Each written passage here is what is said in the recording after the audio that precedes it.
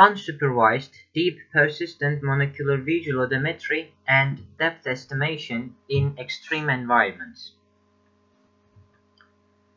The figure shows the proposed unsupervised deep learning architecture for pose estimation and depth map generation. The spatial dimensions on layers and output channels show the tensor shapes that flow through the network.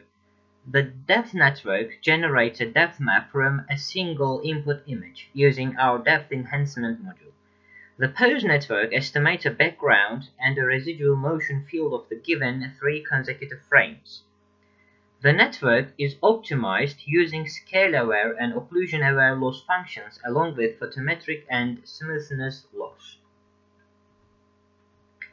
Here we show sample depth reconstruction results for the subterranean dataset recorded by the CoStar team in the DARPA competition during an autonomous exploration of an underground environment in the Satsop nuclear plant, Elma, Washington.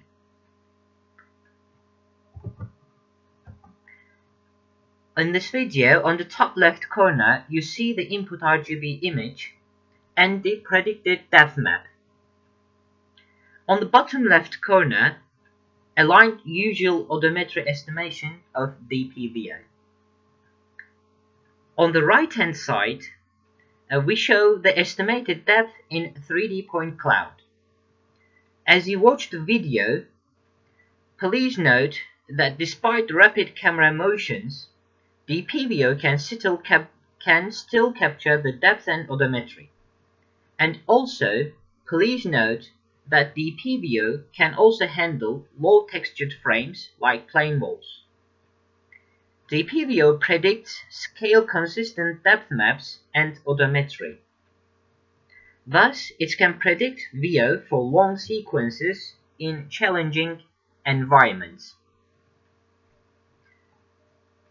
We show the 3D depth prediction in various angles for better visualization.